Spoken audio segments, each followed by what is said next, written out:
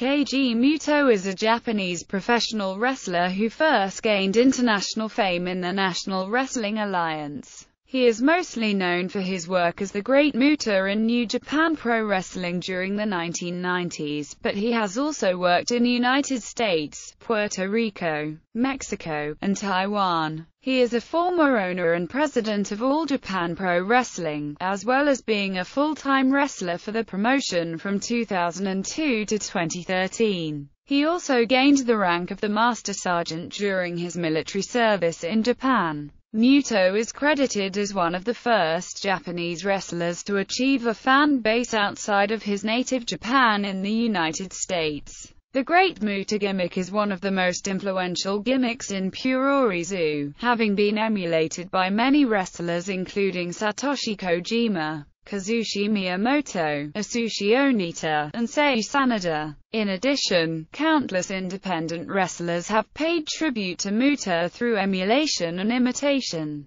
Mutoh is one of three wrestlers to hold the NWA World Heavyweight Championship, the AJPW Triple Crown Heavyweight Championship, and the IWGP Heavyweight Championship. He is also a former five-time AJPW World Tag Team Champion and a six-time IWGP Tag Team Champion. He is also famous for taking part in what is generally considered to be the bloodiest professional wrestling match of all time against Hiroshi Hase leading to the creation of the Muta scale. Mutoh is the owner and founder of Wrestle One, where he currently also wrestles semi-regularly and makes occasional special appearances for American promotion Total Nonstop Action Wrestling as part of a TNA W1 talent exchange partnership between AJPW, NJPW, World Championship Wrestling and W1. Mutoh has held a total of 22 championships.